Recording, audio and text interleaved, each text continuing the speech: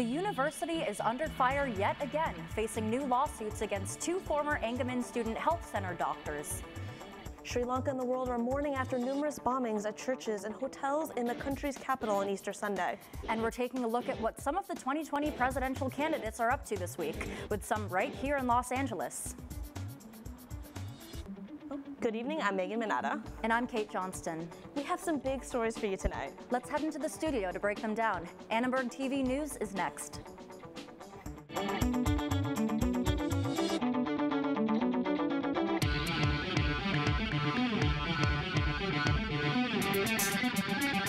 Live from USC, you're watching Annenberg TV News.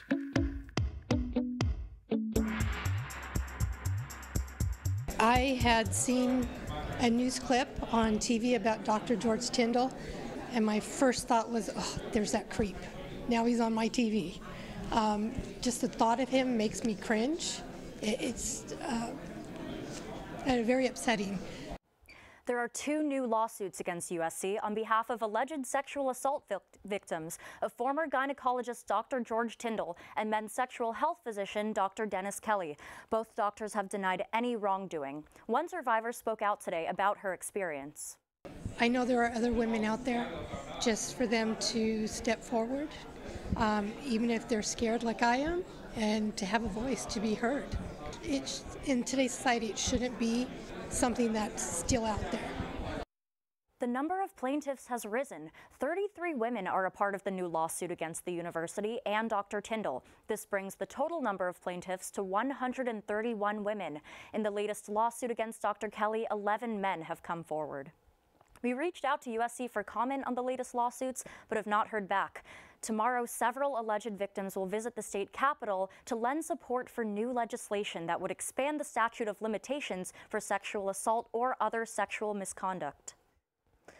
24 people are in custody after a coordinated bombing in Sri Lanka yesterday. 290 people are confirmed dead and more than 500 people are injured. Three churches and several hotels were targeted in the attacks. Four Americans are among the dead. Many in the national community are wondering if the attacks could have been prevented. India and the U.S. have reportedly passed on intelligence of a possible bombing.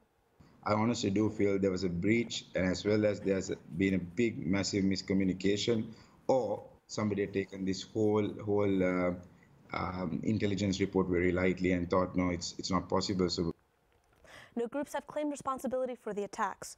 The Sri Lankan government is blaming a local jihadist group with possible links to an international network.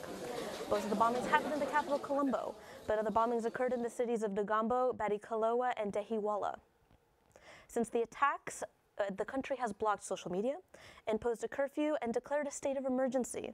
Tomorrow will be a national day of mourning. Massachusetts Senator Elizabeth Warren has announced a new proposal to eliminate student loan debts for millions of Americans as part of her 2020 presidential campaign. I got a proposal. How about a two cent wealth tax? Anyone who's got outstanding student loan debt can have up to $50,000 worth of student loan debt canceled out so long as their income is under $100,000, then it kind of steps in up to there's no help for anybody whose family income is above 250,000.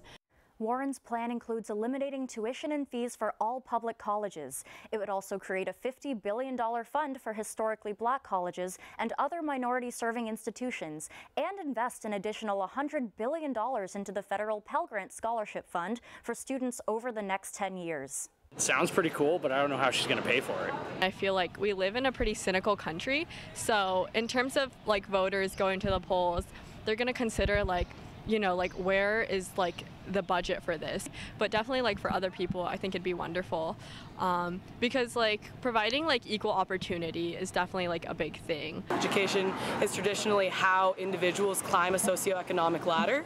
So I think that it would, if she can pull it off, be incredibly beneficial to the American economy. But the question is, how do you do that?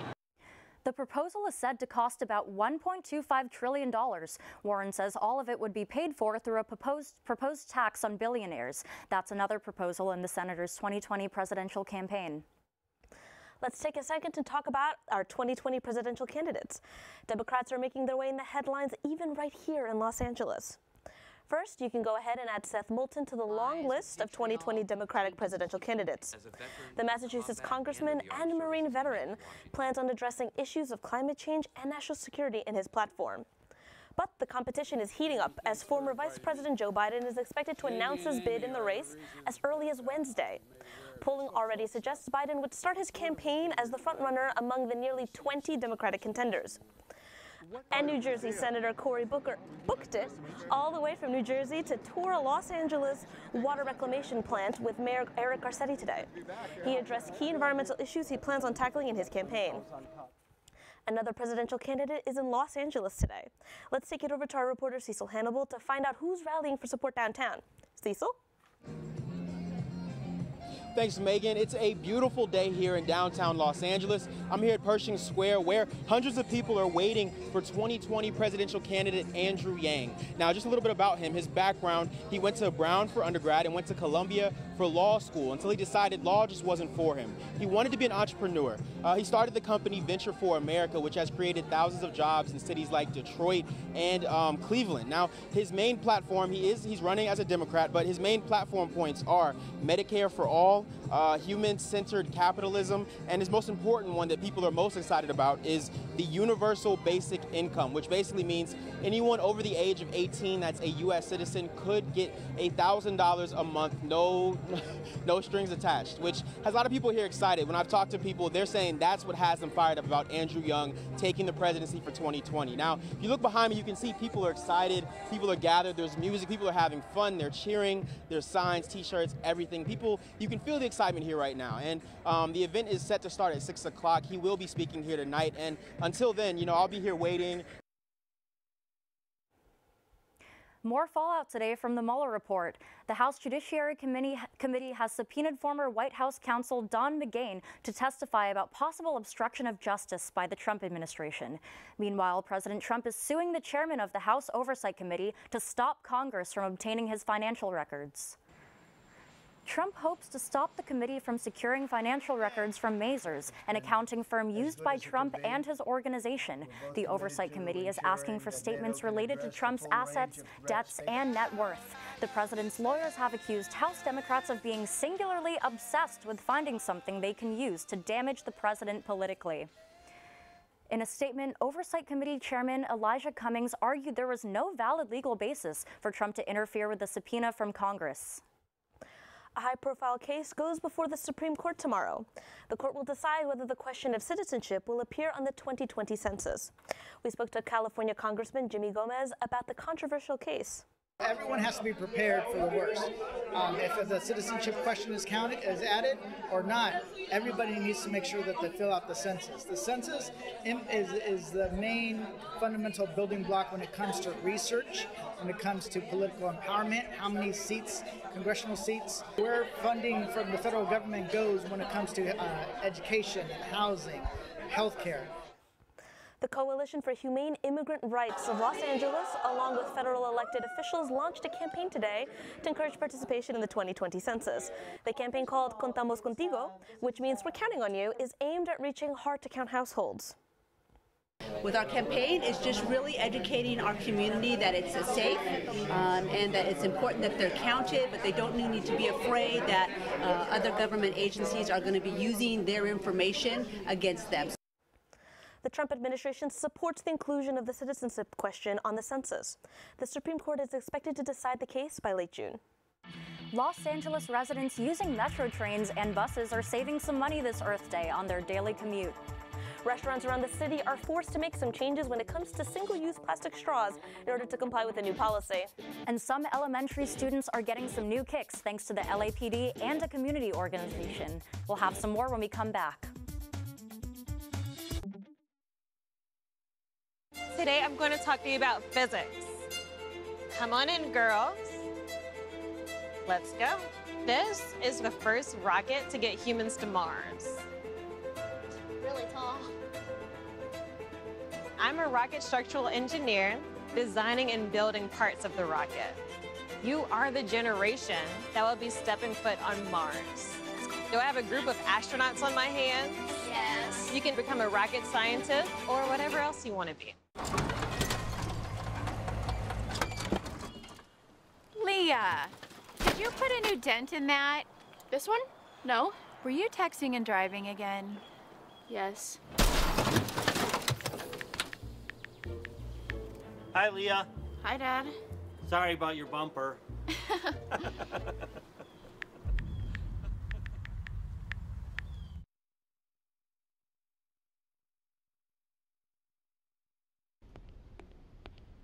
Can I tell you a cat joke? Just kidding.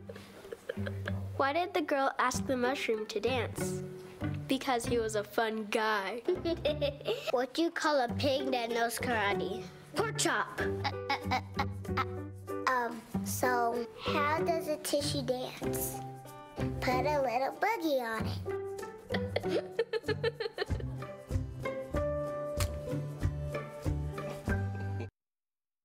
Today's Earth Day, and Los Angeles is celebrating with new limits on plastic straws. Annenberg Media's Madeline Ottilie explores what the new law means for the USC community. Want a plastic straw the next time you dine? Well, now you'll have to ask. The simple act of asking for a straw instead of expecting one reduces the effect on our marine and wildlife, our water and air, and our landfills. It's not clear how much plastic ends up in the oceans each year, but a University of Georgia study says it's between 5 and 14 million tons. Those straws get stuck in animals. They then stay in the animals' stomachs and fill up the animals so that they're no longer eating anything else and they starve to death. LA City Councilman Mitch O'Farrell says the city has an important role in stopping the cycle. We're a coastal city. We're the second largest city in the United States. When we act, industry will respond. The City of LA's new law applies to restaurants with more than 26 employees.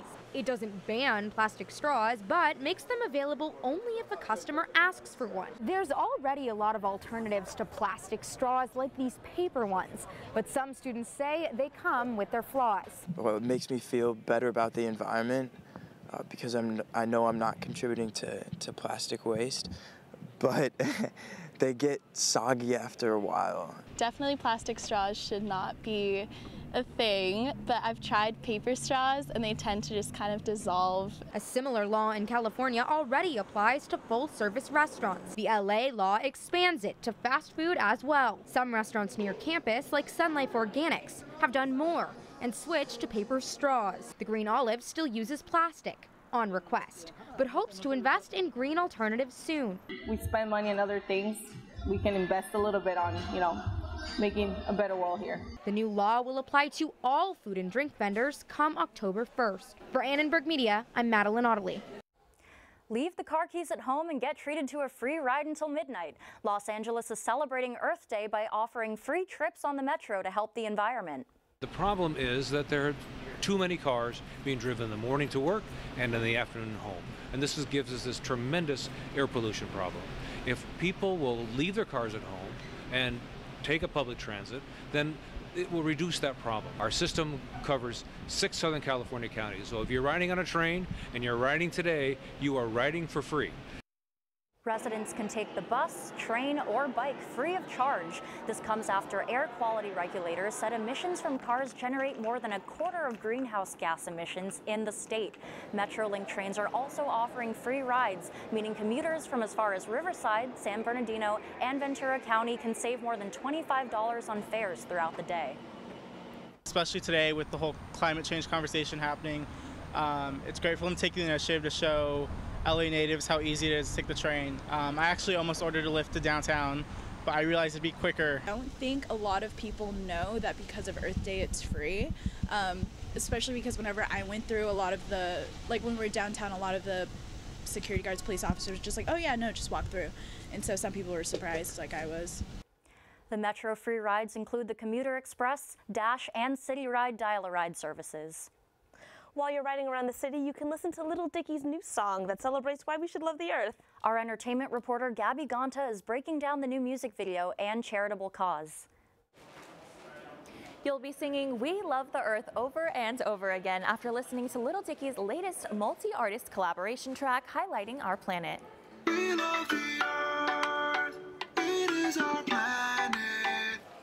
The tune features a total of 32 big name artists like Justin Bieber, Ariana Grande, and Snoop Dogg as talking animals. A cartoon Leonardo DiCaprio even makes an appearance, referencing all the work he's done for climate change, showing that celebrity involvement can make a difference. Like it or not, people pay attention when celebrities talk about important issues. When George Clooney talks about Darfur in front of the United Nations, people pay attention. When Julia Roberts talks about an issue in front of Congress or the Senate, people pay attention. We'll see if the same can be said for Lil Dicky's campaign, which also features an interactive website encouraging donations. The music video is currently number 25 trending on YouTube. Thanks, Gabby. Well, it's finally Earth Day, so let's see how global warming is affecting the weather today. Thanks, guys. It is Earth Day, but just as it is for us every day at the weather, shouldn't every day be? It's 66 degrees, that's wrong, at USC today, and it's very sunny. We're going to be seeing a lot of similar temperatures like this as we move around the area tomorrow. Let's start up at the mountains. Much like the water that used to supply this entire area before global warming put the kibosh on that as well. It's going to be 63 degrees up in Big Bear, 98 in Palm Springs, and then 92 in San Bernardino and Riverside throughout the rest of the area. Let's move on to the coast and Malibu, where we won't need to report on the weather in 30 years after the tides come in and the coast is redefined. It's going to be 80 degrees, 84. Northridge is going to be 92 and then 90 degrees in the San Fernando Valley. Let's go down to the LA Basin, which may crumble and fall when the big one strikes, but we're not there yet. It's going to be 71 at USC, 68 over by LAX, 76 at Long Beach, and then 86, 88, and 83 throughout the rest of the area. Let's take it on over to the five-day forecast. I wish I had new days to offer you uh, this, uh, this time, guys, but unfortunately, no. Just the classics. We got uh, Tuesday, Wednesday, Thursday, Friday, and Saturday 71, 72, 69, 67, and 66. Thank you so much, guys. Weather is everywhere, and so am I. All right. Thank you, Selena. More than 200 first and second graders received a brand new pair of athletic shoes at 49th Street Elementary School. The school's principal says shoes are a basic need for these students, and they are so excited to get them. My students, uh, 229 of them, are receiving the gift of shoes. I see my kids day in, day out, and I can tell you that they are excited. They are happy. I mean, the minute they, they put the shoes on, it just raises their self esteem 100%. The shoes were provided through a partnership between the nonprofit Shoes That Fit and the Los Angeles Police Department. School administrators say new shoes increase physical activity, improve behavior, and attendance. Police officers say it's a privilege to help these kids. We're affiliated with uh, Shoes That Fit, the organization that is providing all these smiles and brand new shoes. So often we see kids um, with duct tape shoes and shoes that don't fit. I was brought up in uh, South LA myself, and I remember being teased uh, as a kid um, with you know the clothes I was wearing, the shoes I was having. It's a joy to see my officers and myself um, put these shoes on these these kids' feet and to see their smiles on their faces. Since the company's founding in 1992, Shoes That Fit has provided more than 2 million pairs of new shoes to students across the U.S. What's going on in the sports world? Well, you know, I don't know. So why don't we toss it to our sports anchor, uh, Robby Aronson, to learn more? Thanks, guys. With the NFL draft coming up on Thursday night, we'll preview what's to come for the Trojans trying to enter the league. And the Trojans played in the MPSF men's volleyball tournament final over the weekend. Stay tuned to find out how USC fared in the match. And it was a crazy weekend for the Trojan baseball team. We'll talk about the unique result that took place in the final game of the series. But first, let's take a time out. We'll be back with sports after the break. So, I just moved in with this family, and it's embarrassing. The little one, he likes to go outside and crawl around in the giant litter box. I don't know what he's doing. I mean, I was born and I knew how to use the litter box. Look at that! That's disgusting! Oh, poop already! You're making me nervous. Oh, okay, I can't look at this anymore. I really hope he grows out of this, for his sake. What do you think you're doing, Kevin? Uh, was just gonna drive home. Ah, uh, uh, there are several warning signs present that you shouldn't be driving. Like hearing voices? Like your text to emoji ratio? Oh man, the selfies. Selfie nailed it. We all have warning signs that let us know that we're probably not okay to drive. Mine is pretending to be your subconscious. Craig, come on, man. Let's split a ride home.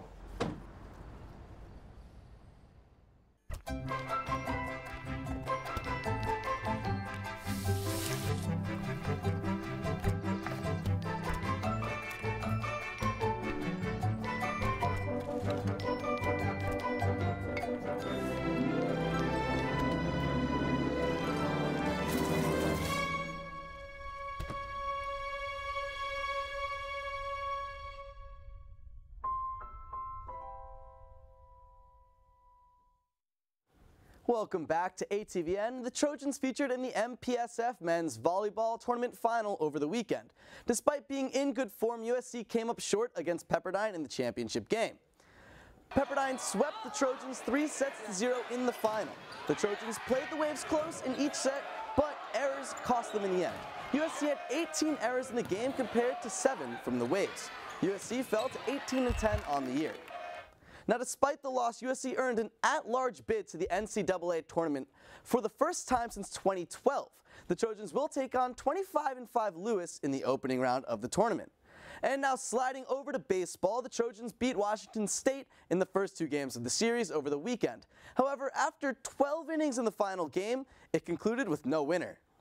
The Trojans were down by five runs going into the bottom of the ninth, but struck a rally late to level the score after nine.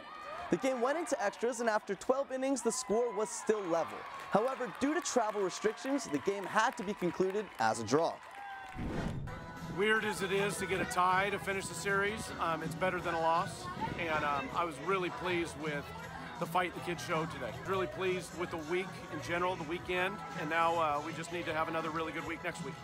Following the weekend, the Trojans now sit with a 17, 20, and 1 record on the year. The Trojans will face off against UC Irvine on Tuesday.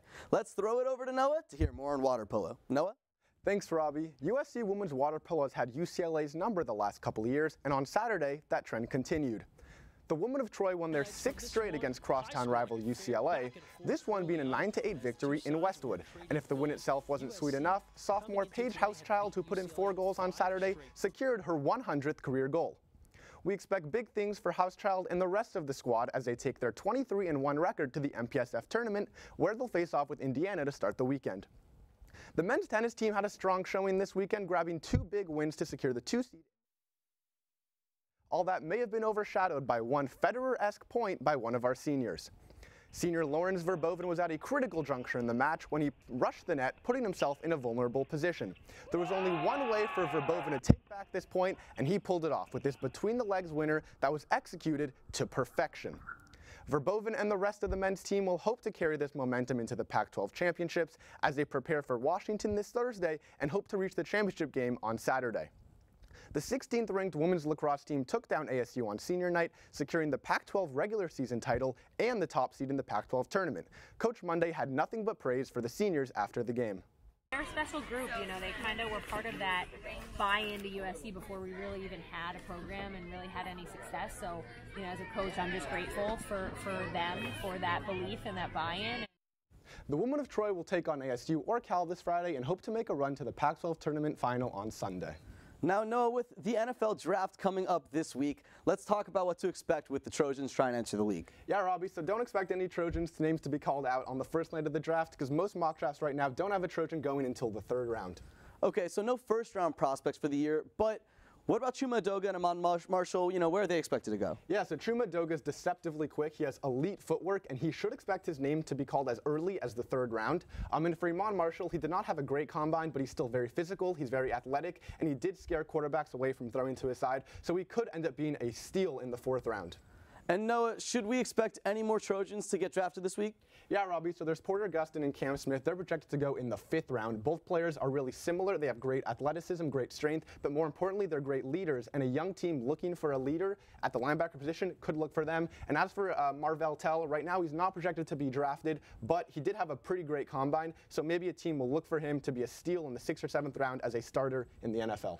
And now, who do you think the Cardinals are going to take number one? You know, those rumors are passing on Kyler. Yeah, so I think Kyler's going to go number one. It might be the Cardinals, but it might not be. Maybe a team will trade up for Kyler. I, I still see him going number one, and I see a lot of trades coming into that first round, so it should be a fun round. It's definitely going to be an exciting day. But that's all we have with sports. You know, back to you guys at the desk. Thank you guys. The release of a new smartphone is being pushed back after some technical difficulties. And Avengers Endgame hits theaters this week. Fans are sharing their reactions and anticipation on Twitter.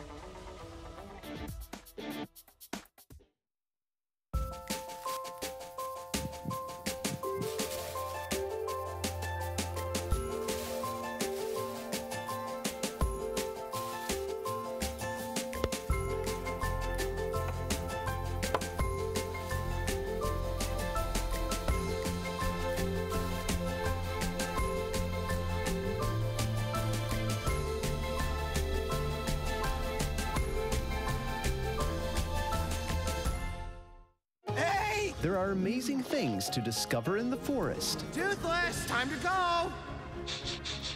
What you picking up on, bud? It's a whole hidden world of wonders. And the perfect place to spend time with family. What better place to let your imagination soar? Experience nature and create a memory you can share. Visit discovertheforest.org to find a forest or park near you. Patriotism. It inspires passionate debate and it's worn like a badge of honor with good reason. Because it means love and devotion for one's country. But what really makes up this country of ours? It's the people. To love America is to love all Americans. This year, patriotism shouldn't just be about pride of country. It should be about love. Love beyond age, sexuality, disability, race, religion, and other labels. Because love has no labels. Here's what's trending on Twitter right now. The release date for the Samsung Galaxy Fold that looks more like a book and less like a phone has been pushed back after the screen on test devices malfunctioned. The new smartphone won't be rolled out until next month. Just more time for people to debate Team Samsung versus Team Apple. I mean, I use a Samsung. I don't know about you. Mm, I don't. I love mine. Mine's pink. well, do you know that fans across the world can't wait to see Iron Man, Thor, Captain America, and all the other Avengers take on Thanos in Avengers Endgame this Thursday? The final installment will bring the Avengers series to a close. Fans better have their popcorn ready for the three hour film. Ooh, three hours is a long time. I don't even remember the last time I saw a movie that long. Yeah, I don't think that's acceptable. I don't care how big your franchise is. well, thanks for watching Annenberg TV News. From everyone at Annenberg Media, I'm Megan Manata. And I'm Kate Johnston. You can watch us on the web at uscannenbergmedia.com. Good night.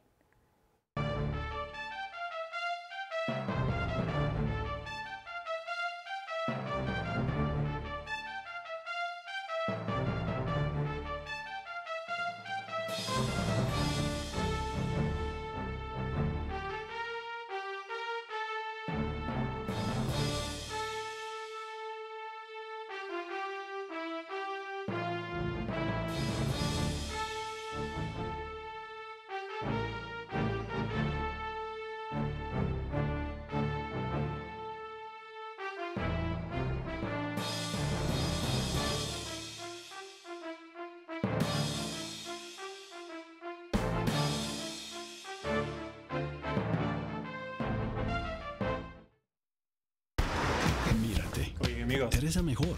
Eres imparable. Nada puede desviar tu rumbo. Espera, se parece a tu auto. Oh, no. Esto lastimará tu cuenta bancaria. Ahora estás viendo torno a 10 mil dólares en multas, honorarios de abogados y el aumento de las tasas de seguros. Vamos a tratar de nuevo. Buena idea. Porque manejar entonado es manejar borracho. See on page four that the projections need to be earthquake next Thursday. Seriously? Thursday?